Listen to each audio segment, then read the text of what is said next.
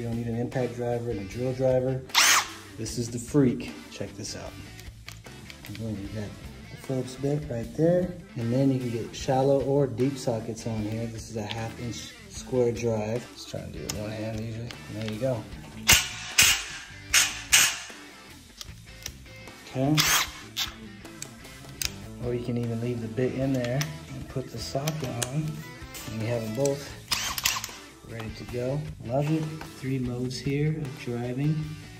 And you have your light button. GDX 18V-1800C heavy duty impact and drill driver in one with a 4 amp hour battery.